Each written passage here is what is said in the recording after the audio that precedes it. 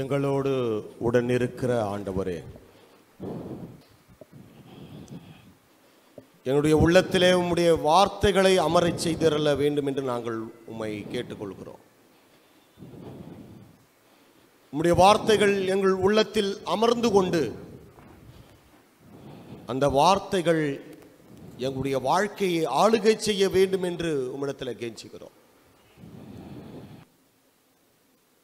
உடைய வார்த்தைகளை எடுத்துரைப்பதற்கு அதை கேட்டு தியானிப்பதற்கும் நாங்கள் ஒருபோதும் தகுதியானவர்கள் அல்ல ஆண்டவரே. தூய ஆவியானவர். இந்த இடத்துல பிரசன்னமாக இருக்கிறீர். நீர் எங்களை தகுதிப்படுத்தி உம்முடைய வார்த்தையின் ஆழங்களுக்குள் எங்களை கொண்டு சென்று அதை புரியவும் தெளியவும் செய்து நம்முடைய வாழ்க்கையை மாற்ற வேண்டும் என்று நாங்கள் மன்றாடுகிறோம். இயேசு கிறிஸ்தின் திருப்பெயரில் ஜெபிக்கிறோம். ஜீவனுள்ள நல்ல பிதாவே. அமேன் அன்புக்குரிய தூய பவுலாலய இறை மக்களே உங்கள் எல்லாருக்கும் கிறிஸ்தியேசுவின் திருப்பெயரிலே என்னுடைய தோத்திரங்கள். எல்லாருக்கும் தோத்திரங்களை தெரிவித்துக் கொள்கிறேன். துன்பமும் மரணமும். மனிதனுடைய மறுக்க முடியாத மாற்ற முடியாத அனுபவமாக இருக்கிறது என்பதை நாம் எல்லாருமே அறிந்திருக்கிறோம். இதற்கான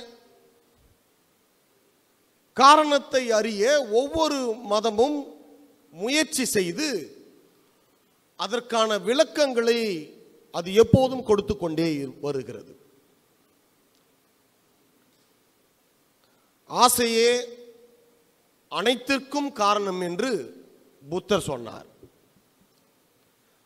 இந்த துன்பமோ இந்த மரணத்துக்கு காரணம்தான் இந்த ஆசை என்று அவர் சொன்னார். அறியாமைதான் அனைத்திற்கும் காரணம் என்று கிரேக்க ஞானிகள் சொன்னார்கள் கிரீக் பிலாசபர்ஸ் திருமறை என்ன சொல்லுகிறது தெரியுமா? படியுங்க. ஆதியாகமம் மூன்றாம் அதிகாரம் முதலாவது வசனத்தை. தேவனாகிய கர்த்தர் உண்டாக்கின சகல காட்டு ஜீவன்களை பார்க்கிலும் சர்ப்பமானது தந்திரமுள்ளதா இருந்தது. போதும். இந்த திருமறை என்ன சொல்லுகிறது என்றால் இந்த மனிதருடைய துன்பத்திற்கும் மரணத்திற்கும் அதாவது மனிதனுடைய வீழ்ச்சிக்கு காரணம் பாம்பின் சூழ்ச்சி என்று சொல்லுகிறது. பாம்பின் சூழ்ச்சி. இந்த மனிதனுடைய வீழ்ச்சிக்கு இந்த படைப்பின் வீழ்ச்சிக்கு காரணமாக பாம்பின் சூழ்ச்சி அமர்ந் அமர்ந்திருக்கிறது என்று இந்த திருமறை சொல்லுகிறது. அன்புக்குரியவர்களே நம்முடைய தென்னிந்திய திருச்சபை சென்னை பேராயும் இன்றைக்கு நமக்கு கொடுக்கப்பட்டிருக்கிற செம்பொருள் படைப்பின் வீழ்ச்சி the fallenness of the creation fallenness of the creation படைப்பின் வீழ்ச்சி. இந்த தலைப்பிலே தான் நாம் இன்றைக்கு தியானிக்க போகிறோம். அன்பானவர்களே இந்த படைப்பின் வீழ்ச்சி என்பது அல்லது இந்த மனிதருடைய வீழ்ச்சி என்பது பாம்பின் சூழ்ச்சியிலிருந்து தோங்குகிறது என்பதை நாம் விளங்கிக் கொள்வதற்கு முன்பதாக ஒன்றை நாம் தெளிவுபடுத்திக் கொள்ள வேண்டும். இங்கே பாம்பு என்பது சாத்தான் அல்ல. ஆனால் சாத்தான் தான் பாம்பாக இங்கே உருவகப்படுத்தப்பட்டிருக்கிறான். அதனால் பார்க்குற பாம்பெல்லாம் நம்ம சாத்தான் நினைக்கக்கூடாது. காரணம் என்னவென்றால் கடவுளால் படைக்கப்பட்டிருக்கிற எல்லா விலங்குகளிலும் பாம்பு தந்திரமுடையதாக இருக்கிறது. இதை எப்படி விளங்கிக் கொள்ளலாம்னா எனக்கு ரெண்டு உதாரணங்கள் நான் சொல்ல முடியும். நான் இதற்கு முன்பதாக பணியாற்றின வண்டலூர் திருச்சபையில் அங்கே இருந்த வீட்டில் வசித்து கொண்டிருக்கும்போது அவ்வப்போது இந்த மின் தடை ஏற்படுவது வழக்கம். ஒரு நாள் சென்று அந்த மெயின் பாக்ஸனுடைய சுவிட்சை ஓப்பன் பண்ணால் அதில் பாம்பு படுத்துன்னு இருக்கு சுவிட்சின் ஆலய பணியாளர் நானும் அதிர்ந்து போனோம். இந்த பாம்பு எப்படி வந்ததுன்னு? தெரில தந்திரமாய் வந்தது. தெரில அந்த தந்திரம் என்பது ஒரு ஒரு ஒரு மேஜிக்கலி ஆக்ஷன் சொல்லுவோம்ல எப்படி வந்தது என்பதே தெரியவில்லை. ஆனால் பாம்பு அங்கே இருக்கிறது. இப்போ இருக்கிறாரு வண்டலூரில் ஒரு ஆயர் என்னுடைய நண்பர்.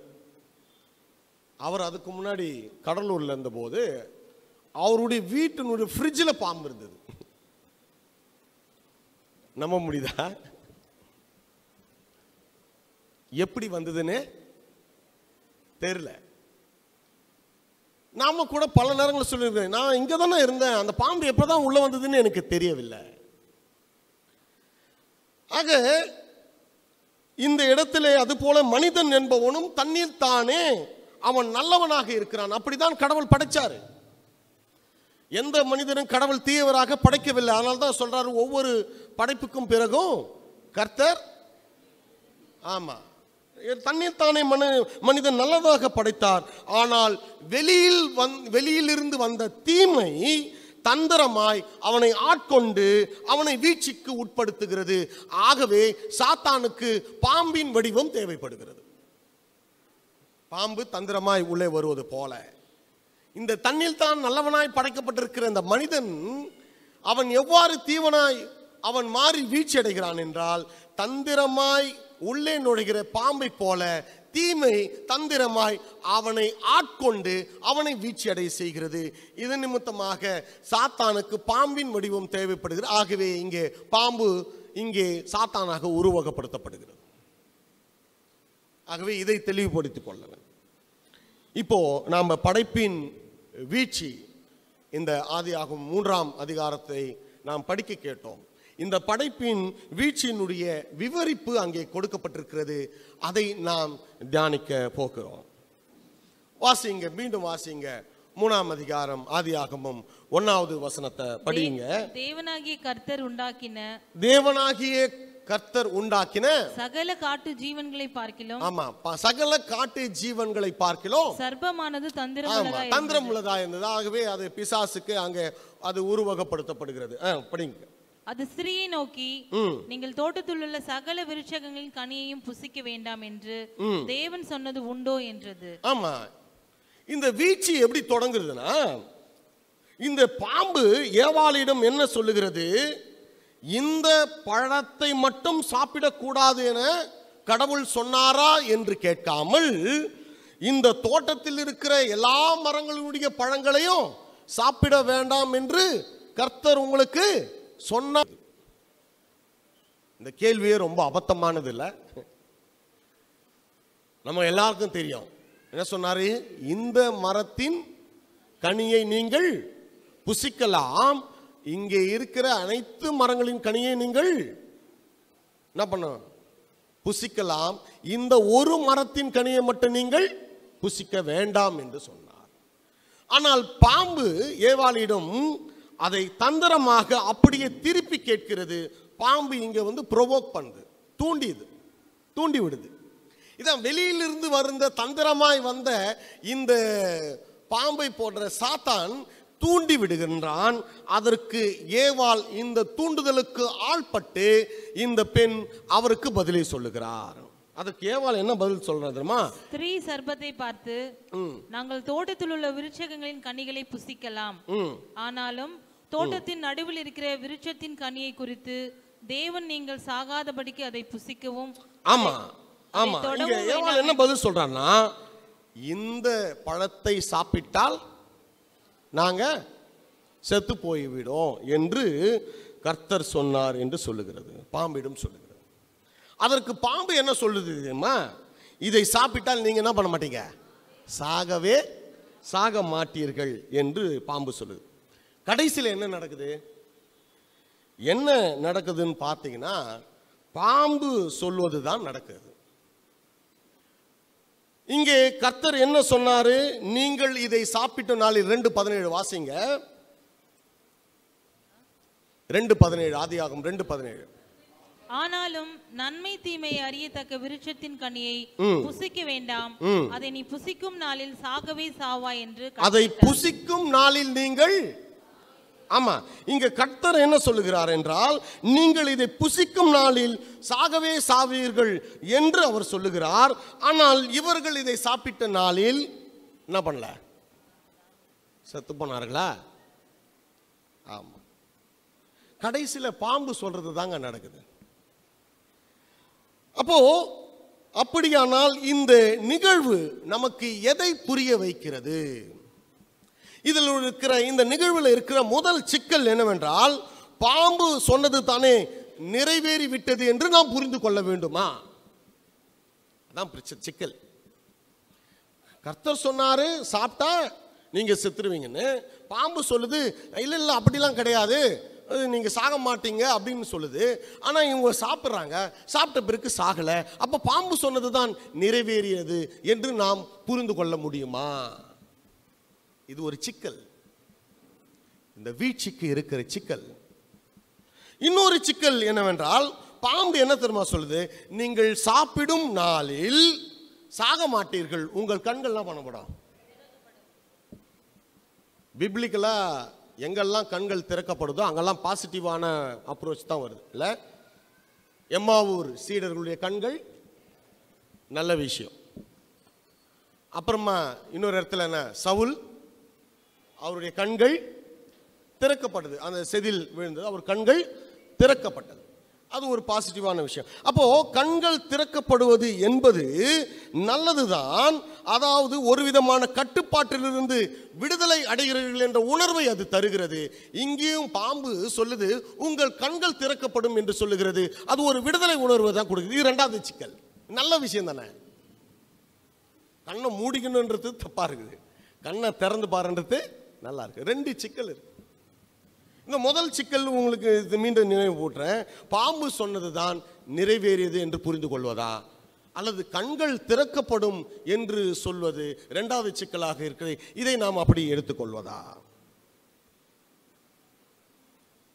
அன்புக்குரியவர்களே அப்போ சாகவே நீங்கள் சாவீர்கள். இந்த மரணம் என்பது கடவுள் கொடுத்த எச்சரிக்கையாக இருக்கிறது.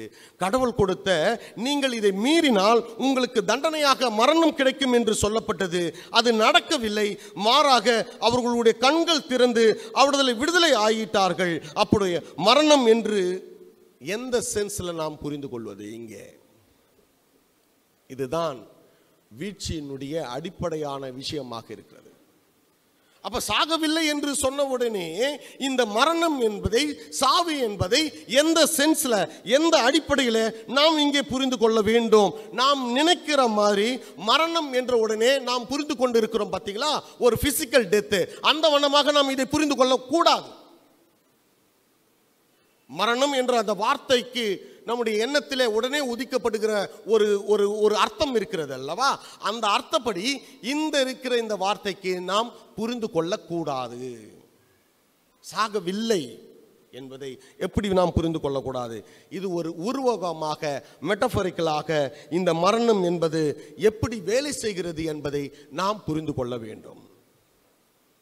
இரண்டாம் அதிகாரத்தில் ரெண்டு ஆதியாகம் ரெண்டு பத்தொன்பது வாசிங்க பத்தொன்பது வாசிங்க. தேவனாகிய கர்த்தர் தேவனாகிய கர்த்தர் வெளியின் சகலவித மிருகங்களையும் வெளியில் சகலவித மிருகங்களையும் ஆகாயத்தின் சகலவித பறவைகளையும் மண்ணினாலே உருவாக்கி ஆதாம் அவைகளுக்கு என்ன பேரிடுவான் என்று பார்க்கும்படி அவைகளை அவனிடத்தில் கொண்டு வந்தார். கொண்டு வந்தார். அப்புறமா இருபத்தி ரெண்டு வாசிங்க. தேவனாகிய கர்த்தர் ஆ. தாம் மனுஷனில் எடுத்த விலா எலும்பை மனுஷியாக உருவாக்கி. அவளை மனுஷனிடத்தில் கொண்டு வந்தார். ஆமா கொண்டு வந்தார். இங்க பாருங்க இந்த மரணம் என்பதை எவ்வாறு நாம் புரிந்து கொள்ள வேண்டும் என்றால் இந்த மனிதனுடைய இந்த வீழ்ச்சிக்கு காரணமாக இருக்கிற இந்த மரணம் என்பதை நாம் எவ்வாறு புரிந்து கொள்ள வேண்டும் என்றால் இந்த ரெண்டாம் அதிகாரத்தில் கடவுளும் மனிதனும் இணைந்து வேலை செய்கிறாங்க என்ன பண்றாரு? எல்லா மிருகங்களை படைத்து யார்கிட்ட கொண்டு வர்றாரு?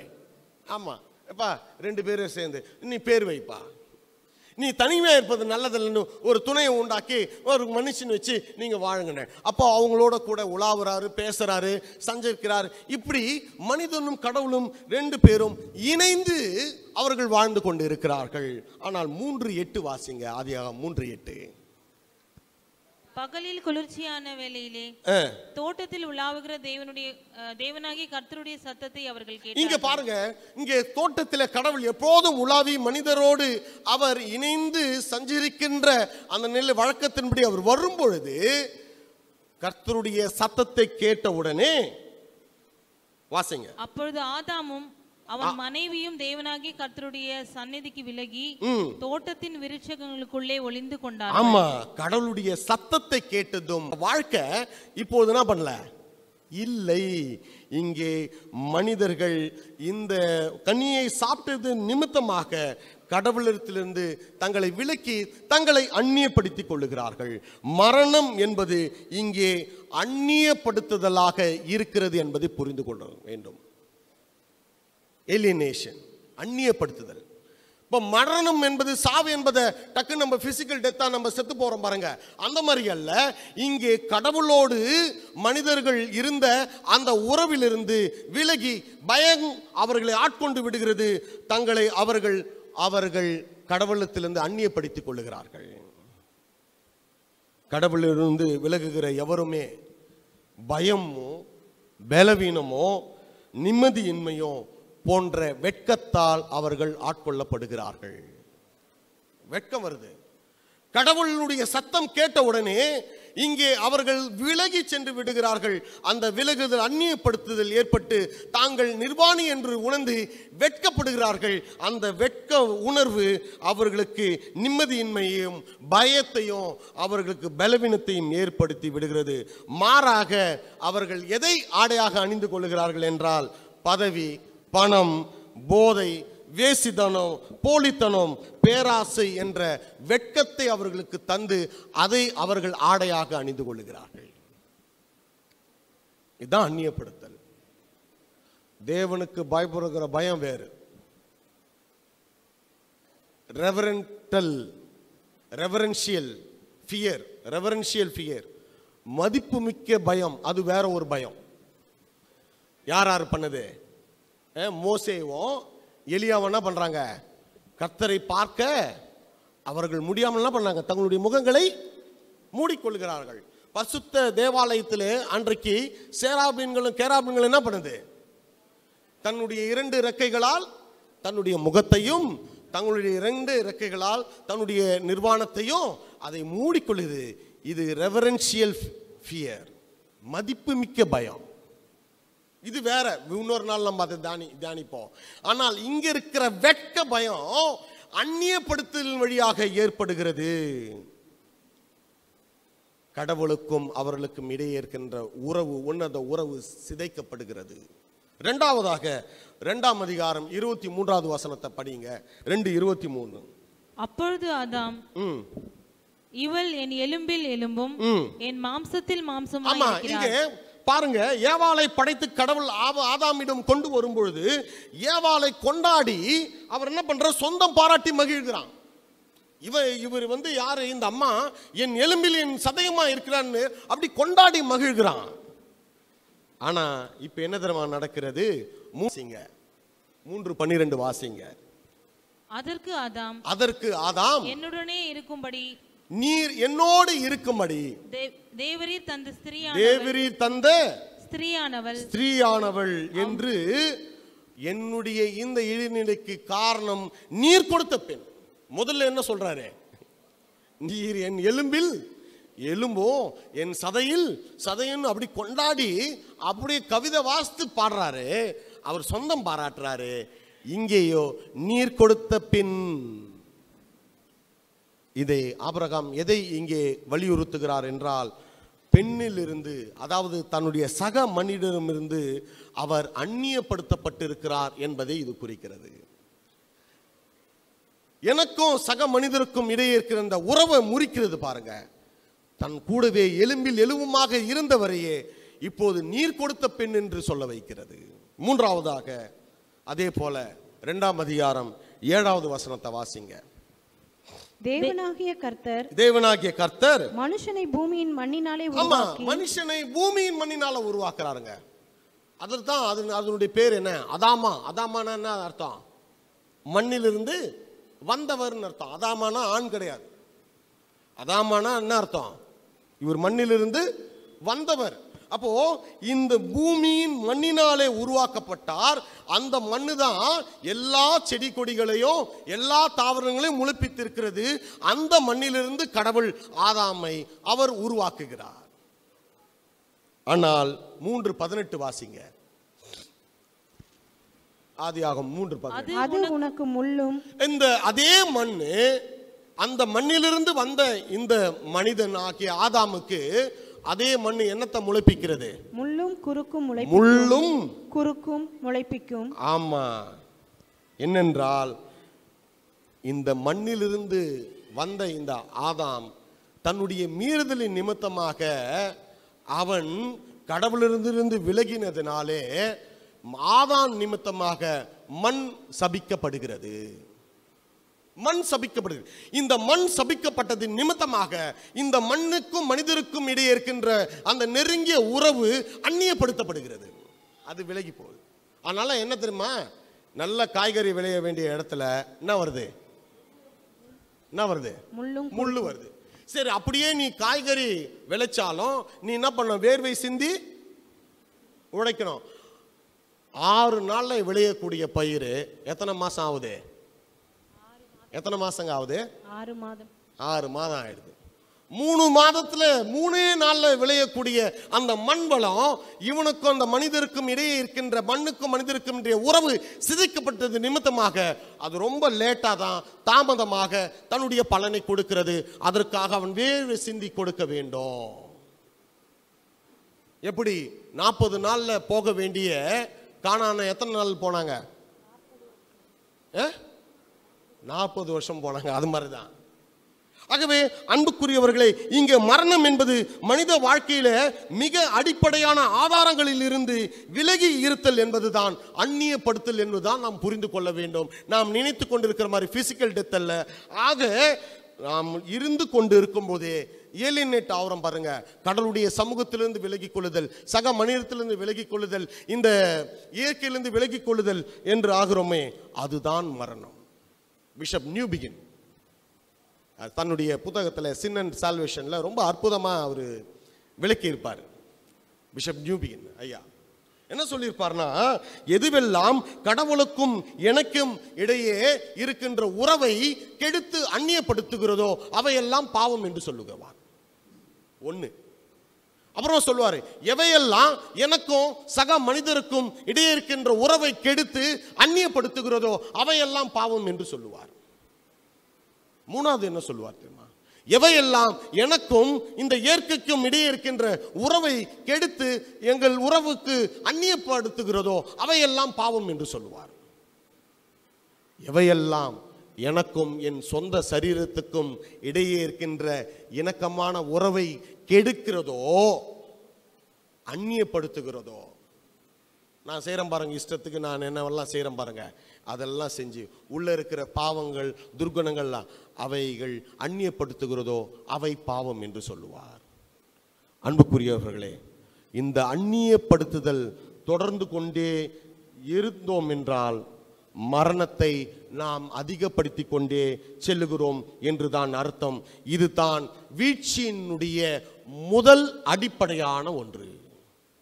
வீழ்ச்சியினுடைய முதல் அடிப்படை அதுதான். நம்ம உறவுகளை கடவுளுக்கும் உன்னத உறவுக்கும் கடவுளுக்கும் நமக்கு இருக்கிற உன்னத உறவை மனிதருக்கும் மனிதருக்கும் ஆவா ஏவாளுக்கும் ஆதாமுக்கின்ற உறவை கெடுத்து மனுஷனுக்கும் அல்லது அந்த மண்ணுக்கும் இடையே இருக்கிற உறவை கெடுத்துக் கொள்ளுகிறதோ?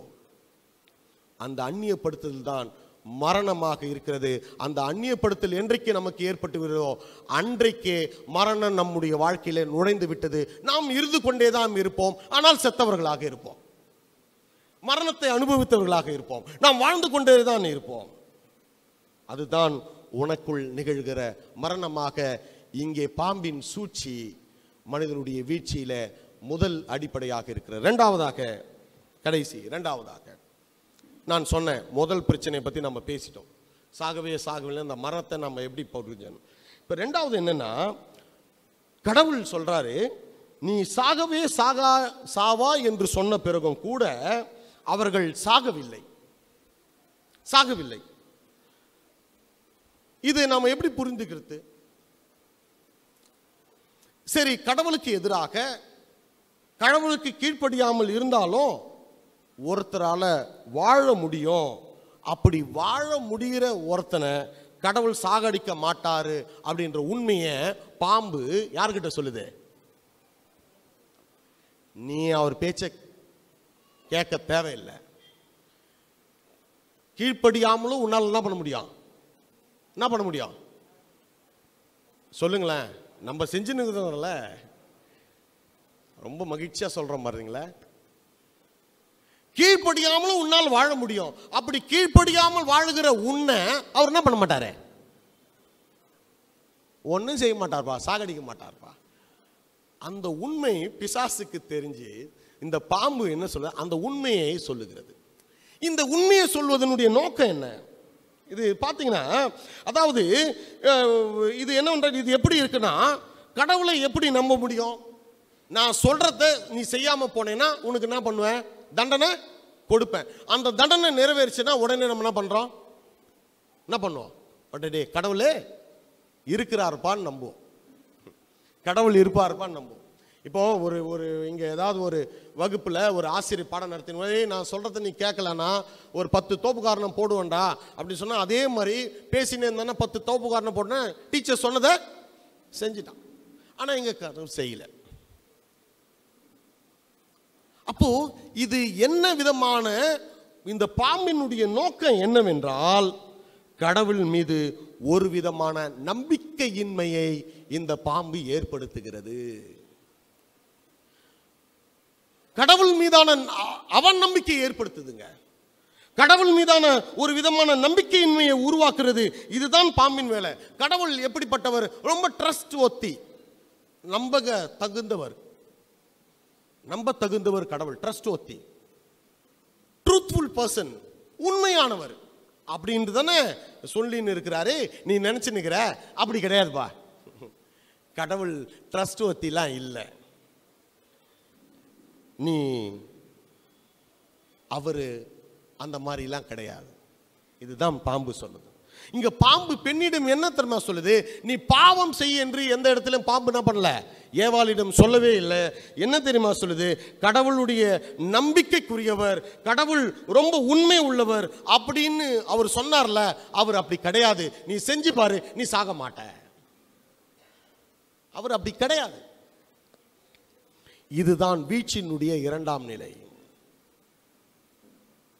ஆனா அதுக்கு பதிலா வேறொரு நம்பிக்கை ஃபால்ஸ் ஓப்பை கொடுக்குது. ஃபால்ஸ் ஓப் இது என்னன்னா கடவுள் மீதான நம்பிக்கையை குலைத்து விட்டு வேறு ஒரு நம்பிக்கை கொடுக்குது. என்ன படிங்க? நீங்க அதை மூணாம் அதிகாரத்துல நீங்கள் அதை சாப்பிடும் நாளில் சாக மாட்டீர்கள். நீங்கள் அதை நீங்கள் இதை புசிக்கும் நாளில் உங்கள் கண்கள் திறக்கப்படும் என்றும் நீங்கள் நன்மை தீமை அறிந்து உங்கள் கண்கள் திறக்கப்படும் என்றும் நீங்கள் நீங்கள் நன்மை தீமை அறிந்து அறிந்து தேவர்களைப் போல இருப்பீர்கள் என்றும் தேவன் அறிவார் என்று ஆமாமா இது இது பாருங்களேன்.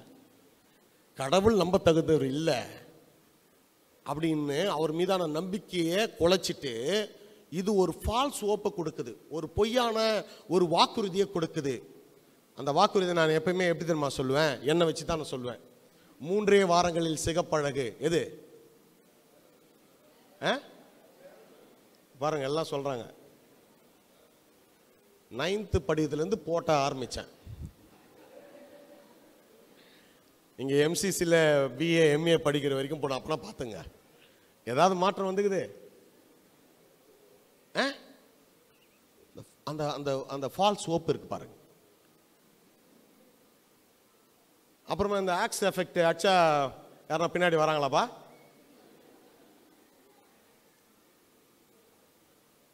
இந்த சஃபோலா ஆயிலில் செஞ்சோம் அப்படியே நல்லா உப்பி வர்ற பூரி. சுட்டு சாப்பிட்டுக்கிறீங்களா வீட்டில் எண்ணெய்லாம் வாங்கி கொடுத்துருப்பீங்க. ஆனால் பூரி சப்பையாக தான் இருக்கும். உனக்கு எண்ணெய் வாங்கி கொடுத்தாலும் அப்படிதான். இதே போல தான் பிசாசு ஒரு பொய்யான ஒரு வாக்குறுதியை கொடுக்கிறது. என்னவென்றால் உங்கள் கண்கள் திறக்கப்படும். நீ கடவுள் மீது வைத்திருக்கிற நம்பிக்கை குலைத்து அவர் சாகடிக்க மாட்டார் அப்படின்னு சொல்லிட்டு அதே போல சாகடிக்கல. ஆனால் உங்கள் கண்கள் திறக்கப்படும். நன்மை தீமை நீங்கள் அறிந்து கொள்வீர்கள். இந்த நன்மைனா என்ன அப்படின்னு புரிஞ்சுக்கணும்னா இந்த நன்மை என்றால் கடவுளுடைய விருப்பத்தை அடிப்படையாக கொண்டது. வில் ஆஃப் காட் கடவுளுடைய விருப்பத்துக்கு இணங்கி போவதெல்லாம் நன்மை. அதாவது இந்த அடிப்படையில் தான் கடவுள் எல்லாவற்றையும் பார்க்குறாரு. அவர் இந்த உலகத்தை படைச்ச போது எத்தனை முறை நல்லதுன்னு சொன்னார்? எத்தனை நாள் அது நல்லா ஈஸியாக ஞாபகம் வச்சுங்க. எத்தனை நாளில் கடவுள் வந்து உலகத்தை படைத்தார் ஆறு நாள் அப்புறம் இன்னொரு நாள்? மொத்தம் எத்தனை? ஏழு நாள். அப்போ ஏழு முறை சொன்னார். நல்லது என்று கண்டார் நல்லது என்று கண்டார் நல்லது என்று கண்டார். ஈஸியாக ஞாபகம் வச்சுக்கிறதுக்காக சொல்கிறேன் நல்லது என்று கண்டார். அப்போ நல்லது என்று கண்டார் என்பது பார்ப்பதற்கு பார்ப்பதற்கு நல்லா இருக்குது அழகா இருக்குது அப்படின்றதுக்கான அர்த்தம் இல்லை. என்னவென்றால் நான் எந்த நோக்கத்தோடு இந்த உலகத்தை உருவாக்க வேண்டும் என்று எண்ணினேனோ அந்த நோக்கத்திற்கு இது இணக்கமா இருக்கிறது என்று தனக்குள் சொல்லி அவர் நல்லது என்று கண்டார். நான் எது நான் நினைச்சுன்னு ஒன்று பொருளை உருவாக்கினேன். அதே மாதிரி வந்திருக்குது. அதே மாதிரி வந்திருக்குது. அப்போ அந்த கடவுளுடைய நோக்கத்திற்கு இணக்கமாக இருப்பதெல்லாம் நல்லது அவருடைய நோக்கத்திற்கு எதிராக இருப்பதெல்லாம் தீமை. அது ஈவில் நன்மை தீமை. அப்போ நீங்க பாருங்க எல்லா உயிர்களையும் இந்த அண்ட சராசரங்கள் எல்லா உயிர்களையும் படைத்து உருவாக்கி பராமரிக்கிற கடவுளுடைய பார்வையில எது நன்மையானதோ அதை தான் நாம் என்ன பண்ணோம்? செய்ய வேண்டும். ஆனால் பிசாசிங்க என்ன தெரியுமா சொல்லுது? அதுக்கு வேணாம். அது வேணாம். உன் கண்ணு திறந்துரும். உனக்கு எது நன்மையானதோ தீமையானதோ நீ தேவரை போல ஆயிடு. அவருடைய இடத்துக்கு நீ வந்துட்டு. பாருங்க. ரொம்ப வித்தியாசமான ஒரு வீச்சு பாருங்க. என்னன்னா எல்லா உயிரையும் படைத்தவருடைய பார்வையில் நன்மை என்பது சொல்வதற்கும் ஒரு நாலு உயிரை பராமரிக்கிற எனக்கு நன்மை என்பதற்கும் வித்தியாசம் இருக்குமா இருக்காதா? இப்போ ரொம்ப அனுபவசாலி பெரியவங்க இருக்கிறாங்க. அவங்களுக்கு நிறைய எக்ஸ்போஷர் இருக்கும். அவங்க கிட்ட ஒரு விஷயத்தை நீங்கள் கேட்டிங்கன்னா அவங்களுடைய பட்டறிவு நிமித்தமாக எக்ஸ்போஷர் நிமித்தமாக ஒரு விஷயத்தை நாலு விதத்தில் பார்த்து உங்களுக்கு சொல்லுவாங்க. ஆனால் பட்டறிவு இல்லாத ஒருத்தர்கிட்ட போயிட்டு நீங்கள் உங்களுடைய ஆலோசனை கேட்டிங்கன்னா எப்படி சாலமோனுடைய மகன் தன்னிடம் இருக்கிற மூப்பர்களிடம் ஆலோசனை கேட்டாலும் யார்கிட்ட கேட்டான்? அவனுக்கு எக்ஸ்போஷர் குறைவு. அவங்ககிட்ட போய் கேட்டான் தப்பான ஆலோசனை கூட ரா- ராஜ்யமே ரெண்டா போச்சு. அப்போ அதே போலத்தான் அந்த சராசரங்களை படைத்த கர்த்தருடைய பார்வையில் எது நன்மையானது என்பதை இந்த மனிதன் அவரையே சார்ந்திருக்க வேண்டிய அந்த நிர்பந்தத்திலிருந்து இந்த பிசாசு என்ன சொல்ல உன் கண்ணு திறக்குது நீ விடுவிக்கப்படுகிறாய். என்ன விடுவிக்கப்படுகிறாய்? நன்மை தீமையை அறிந்து நீயே தீர்மானித்துக் கொள்ளுகின்ற அந்த தெய்வ நிலையை நீ பெற்றுக்கொள். அப்போ நான் என்ன பண்ணுறேன் ஒரு சின்ன பேனாவை எடுத்து உங்களுக்கு அன்பான கடிதம் எழுதுறேன். பிள்ளைகளே அது நன்மையாக இருக்குது. எனக்கு நீங்கள் ஏதாவது செஞ்சீங்கன்னா அதே பேனாவில் உங்களை என்ன பண்ணுறேன் என்ன பண்ணுவேன்? குத்த முடியும். ஒரு கத்தியை எடுத்து ஆப்பிள் வெட்டி உங்களுக்கு கொடுக்க முடியும். என்னை சார்ந்த உங்களுக்கு ஆப்பிளை கொடு. அதே கத்தியில உங்களை காயப்படுத்த முடியும். நன்மை தீமை சுயநலத்தின் அடிப்படையில் இங்கே உயிர்களை எல்லாம் பராமரிக்கிற கத்தருடைய பார்வையில் எது நன்மையானது என்பதை விடுவித்துட்டு என்னுடைய பார்வையிலே சுயநலத்தின் அடிப்படையில் எது நன்மையானது என்று சொல்லும்போது எனக்கு நீங்கள் தீமை செய்தால் அந்த தீக்குச்சியில உங்களுடைய வீட்டை நான் கொளுத்த முடியும். எங்களுக்கு நீங்கள் நன்மை செய்தால் நீங்கள் எனக்கு விருப்பமானவர்கள் இருந்தால் அந்த தீக்குச்சியில உணவு சமைத்து உங்களுக்கு தேநீர் வழங்க முடியும். நன்மை தீமை. அன்புக்குரியவர்களே மனிதன் இந்த நேரத்தில் நீங்களாகவே முடிவெடுத்து கொள்ளலாம் என்ற இடத்துக்கு கொண்டு வந்து விட்டு விடுகிறான். அவன் என்ன பண்ணலை? ஒருபோதும் நீ பாவம் செய்யுன்னு சொல்லவே இல்லை. அவன் என்ன பண்ணுறான் ரொம்ப தந்திரமாக நீங்கள் சாக மாட்டீர்கள் உங்கள் கண்கள் மாறாக உங்கள் கண்கள் திறக்கப்படும் என்று சொல்லி அப்படியே தந்திரமாக எடுத்துகிட்டு வந்து எந்த இடத்துல வச்சிடறான் தெரியுமா? நீயே உன்னுடைய வாழ்க்கையை நீயே முடிவெடுத்து கொள்ளலாம். கடவுளை சார்ந்து இருக்க வேண்டும் என்று தேவையில்லை. ஆகவே மனிதன் என்ன செய்கிறான் நாமே வாழலாம் நாமே வெற்றி பெறலாம். நாமே எல்லாவற்றையும் பார்த்து கொள்ளலாம் என்ற முடிவுக்கு வந்து விடுகிறான். நன்மை தீமை. நன்மை தீமை. அன்புக்குரியவர்களே இந்த நன்மை தீமை தான் இன்றைக்கு உலகத்தில் என்ன தெரியுமா அறிஞ்சிருக்கு? எனக்கு தெரியும். நான் ஒரு ஆயராக இருக்கிறேன். திருமறை வசனம் என்ன சொல்லுகிறது? ஆரம்பத்தில் நாம் இங்கே ஞானசானம் வழிபாட்டிலே சொன்னோம். ஊழியர் அவர்கள் அந்த வசனத்தை படிச்சாரு. யூதராயினும் கிரேக்கராயினும் நாம் அனைவரும் கிறிஸ்து இயேசுவுக்குள் ஒன்றாக்கப்பட்டிருக்கிறோம். ஒரே தண்ணீரால் நாம் என்ன பண்ணிருக்கிறோம்? நினைக்கப்பட்டிருக்கிறோம். அப்போ தெரியும். அப்போ என்னுடைய புத்திக்கு என்ன தெரிகிறது என்றால் இங்கே இங்கே திருமறை என்ன சொல்லுது? கடவுளுடைய பார்வையில் யூதனும் இல்லை கிரேக்கனும் இல்லை அவர் கடவுளுடைய சாயலில் படைக்கப்பட்டிருக்கிறார் என்று இந்த திருமறையினுடைய துவக்கத்திலே சொல்லுதுப்பா யாரையும் எந்த வித்தியாசம் இல்லாமல் படைச்சிருக்கிறாரு? அவருடைய சாயல் அவருடைய ரூபத்தில் படைச்சிருக்கிறாரு. ஆனா நான் என்ன பண்ணுறேன் பண்றேன்? நன்மை தீமை தெரிஞ்ச உடனே சுயநலம் தெரிஞ்ச உடனே எனக்குன்னு ஒரு வட்டத்தை ஏற்படுத்தி ஒரு சாதிய கட்டமைப்பை நான் ஏற்படுத்திக் கொள்கிறேன். அப்போ கடவுளுடைய சாயல் என்பதை கடவுளுடைய உருவம் என்பதை நான் மறுத்துவிட்டு எனக்கென்று எனக்கென்று ஒரு இனம் ஒரு பந்தம் என்ற அந்த ஒரு குறிப்பிட்ட சுவர்களை எழுப்பிவிட்டு நான் என்ன செய்கிறேன் என்றால் அந்த சுயசாதி பெருமைகளையும் பேசிக்கொண்டும் அந்த சாதிய பெருமைகளை நிலைநாட்டுவதற்கான வேலைகளை நான் என் வீட்டில் நான் ஆயராக இருந்து கொண்டே செய்து கொண்டு இருக்கிறேன் இது ரெண்டாயிரம் வருஷமா இருக்குது. ஆனா சாமி ஒன்றும் பண்ணல என்ன?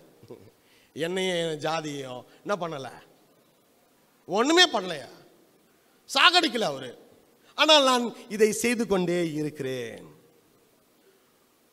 இதோ என் எலும்பில் எலும்பு என் மாம்சத்தில் மாம்சமாக படைக்கப்பட்டவர் என்று எனக்கு தெரிகிறது. அப்படிதான் இது திருமறை சொல்லுகிறது.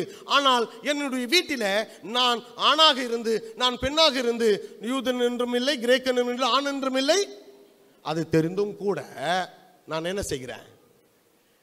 என் மனைவியை என் பெண் பிள்ளைகளை நாம் ரெண்டாம் பட்சமாக தான் பார்க்குறேன். என் நான் அப்படி தான் வளர்ந்தேன். நான் ஒரே பையன் எங்கள் வீட்டில் எனக்கு முன்னாடி ரெண்டு அக்கா. எங்கள் அக்காங்கெல்லாம் எனக்கு தெரிஞ்சு ஒரு ப பதினஞ்சு இருபது வய வயசு வரைக்கும் ஹார்லிக்ஸ் பூஸ்ட்லாம் குடிச்சதே இல்லை. நான் மட்டும் தான் குடிச்சு வளர்ந்துருக்கேன் ஆனால் வைப்பாங்க. அவங்க எதிரவே எனக்கு வைப்பாங்க. நான் குடிக்கணும். அவங்கெல்லாம் பா- அவங்க பார்க்குற பார்வை அந்த ஏக்கமான ஒரு பார்வையெல்லாம் இருக்காரு பார்த்தீங்களா இதை நான் அடிக்கடி இங்கே சொல்லி அந்த இழிநிலைக்கான விஷயத்தை வருத்தத்தை தேடிக்கொள்வேன். ஏன் நகைச்சுவாக சொல்லணும்னா முட்டை உரிக்கும் போது முழுசாக சில முட்டை வரும் சில முட்டை நான் வரும். எனக்கு முழு முட்டை தான் தருவாங்க. உடஞ்சது புண்டு போனதெல்லாம் எங்கள் அக்கா. சில நாட்கள் அந்த முட்டை கூட கிடைக்காது அவங்களுக்கு. ஆகவே எனக்கென்று ஒரு வழி வரும்போது நான் வேதனைப்படுகிறேன். என்னை சுற்றிலும் என்னுடைய மனைவி என்னுடைய பிள்ளைகளும் எனக்கு காயத்தை ஆற்ற வேண்டும் வழியை போக்க வேண்டும். அவர்களுக்கு மிகப்பெரிய வழி ஏற்பட்டாலும் கூட அதை வந்து அவர்கள் சொல்லும்போது கூட அதை நான் என்ன பண்ண மாட்டேன்? அது சரியாயிடுமா? போமா வேலையை பார். அதே போல இங்கே ஆண் என்றும் இல்லை பெண் என்றும் என்று இல்லை என்பது அல்ல. அதே நேரத்தில் எனக்கு இன்னொன்று தெரியும். இவர் சுயாதீனவன் என்றும் இல்லை அடிமை என்றும் இல்லை. ஒரு வர்க்க வேறுபாடு. இந்த மாதிரி சொல்லிக்கொண்டே போகலாம். அன்புக்குரியவர்களே இதற்கான தீர்வு என்ன? இந்த வீழ்ச்சி. இதனுடைய இரண்டாம் நிலை அதுதான். நானே தீர்மானித்து தெய்வ நிலைக்கு எனக்கான ஒரு நீதியை நான் தேடிக்கொள்கிறேனே. இதுதான் இந்த வீழ்ச்சியினுடைய இரண்டாம் நிலை. அப்போ முதல் நிலையில அந்நியப்படுத்துதல் கடவுளிலிருந்து அந்நியப்படுத்துதல். ரெண்டாவது கடவுள் மீதான நம்பகத்தை குலைத்தல். இது ரெண்டு தான் வீழ்ச்சிக்கான அடிப்படை காரணமாக இருக்கிறது. எனக்கு நானே ஒரு நம்பகத்தை ஏற்படுத்திக் கொள்கிறேன். கடவுள் மீதான நம்பிக்கை தன்மையை இங்கு குலைத்து போட்டுவிட்டேன். கடவுளிடம் இருக்கிற உறவை நான் விலக்கி கொண்டு அந்நியப்படுத்திக் கொண்டேன். இதுதான் வீழ்ச்சியினுடைய ரெண்டும். அப்போ இதுக்கு முடிவே இல்லையா? இந்த வீழ்ச்சிக்கு இந்த வீழ்ச்சிக்கு ஒரு முடிவு இல்லையா? அன்பானவர்களே இந்த அந்நியமாதலும் நம்பிக்கையின்மையும் ஒரே அடியாக விழுந்து விட்ட ஒன்று அல்ல. Irreversible ஃபால் கிடையாது. ஒரு ஒரு ஒரு மீண்டும் மீள முடியாத ஒரு வீழ்ச்சி கிடையாதுங்க. பைபிள் அதான் சொல்லுது. நான் இப்போ சொன்ன பாருங்க இந்த அந்நியப்படுத்துதலையும் இந்த நம்பக நம்பிக்கையின்மையும் கடவுள் மீதான நம்பிக்கையின்மையும் இது வீழ்ச்சியினுடைய அடித்தளம் என்று சொன்னேன். இதிலிருந்து நம்ம மீள முடியாதன்னா கட்டாயமாக மீள முடியும். பைபிள் என்ன சொல்லு தெரியுமா? இங்கே கடவுளுக்கும் மனிதனுக்கும் மிகப்பெரிய நம்பிக்கை கடவுள் இந்த மனிதனுக்கு தந்திருக்கிறார் என்றால் அந்த மிகப்பெரிய நம்பிக்கையினுடைய பண்பு எதென்றால் மன்னிப்பு. அதுதான் கடைசியில் நற்செய்தியில் உள்ள பதினெட்டாம் அதிகாரம் மத்திய பதினெட்டில் படிக்க கேட்டோம். மன்னிப்பு தாங்க. நம்முடைய ஊழியர் கூட முகப்பு ஜெபத்தில் தோக்க ஜெபத்தில் சொன்னார். எத்தனை பேர் நீங்கள் அந்த ஜெபத்தை கவனிச்சீங்கன்னு தெரில என்ன சொன்னார்?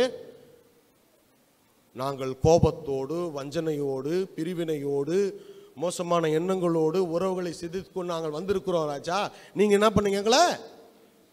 மன்னியோம். அப்போ இந்த வீழ்ச்சிக்கு என்பது அது மீள முடியாத வீழ்ச்சி அல்ல. இங்கே கடவுள் மனிதனுக்கு மிகப்பெரிய நம்பிக்கை தந்திருக்கிறார். அதுதான் இந்த மன்னிப்பு. நீங்கள் சாக மாட்டீர்கள். பிசாசு சொன்னது நீங்க சாக மாட்டீர்கள். நீங்கள் தேவர்களைப் போல இருப்பீர்கள். என்று பிசாசின் யோசனை என்பது தற்காலிகமானது தாங்க. கொஞ்சம் அது கொஞ்சம் யோசித்து அது தற்காலிகமானது.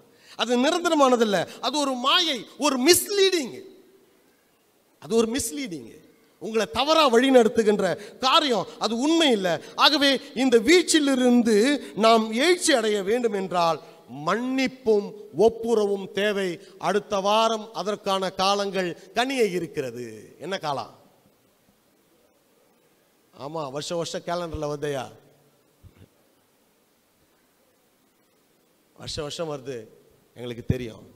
அன்புக்குரியவர்களே இந்த வீழ்ச்சியிலிருந்து எழுச்சி அடைய இந்த மன்னிப்பும் ஒப்புரும் தேவை. மன்னிப்பு என்றாலே மனிதன் இழந்து போன உறவை நோக்கி வழி நடத்துகின்ற பாதை தான் மன்னிப்பு. மன்னிப்பு நான் என்ன தெரியுங்களா?